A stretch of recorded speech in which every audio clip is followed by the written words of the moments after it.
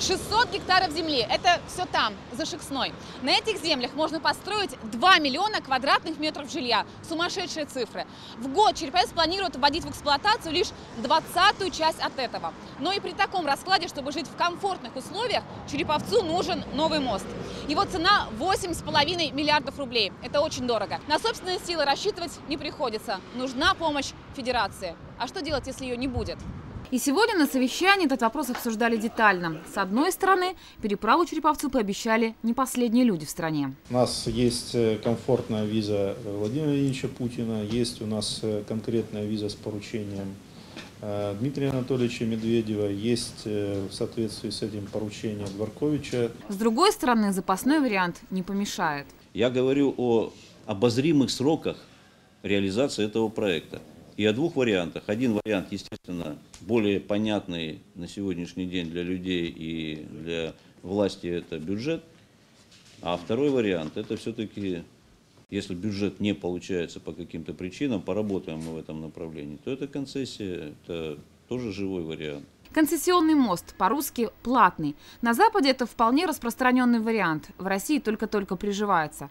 На что будут строить новый мост, пока непонятно. Но тем не менее, он главное звено в развитии Череповца. Расти территориально и с перспективой город может только на юг. А вот область способна развиваться по нескольким направлениям. На этой карте, словно щупальца осьминога, раскинулись коридоры развития. Всего их четыре. Центральный, западный, восточный и западный диагональный. И вокруг них э, развивается основное развитие экономики.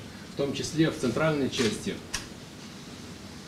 у нас предполагается развитие такой агломерации – Вологодско-Череповецкой. Агломерация – это опасно, говорит замминистр. Нужны дополнительные точки роста, а именно города, где будут жить и работать люди, не занятые в металлургии и химии. Нужно, чтобы была понятная миграция населения, возможности трудоустройства людей, но на предприятия, которые имеют другую сферу деятельности, другие рынки, другие возможности. Схема у Вологжан есть. Где, что и за чей счет будет строиться, как идет прирост населения, куда потянут сети.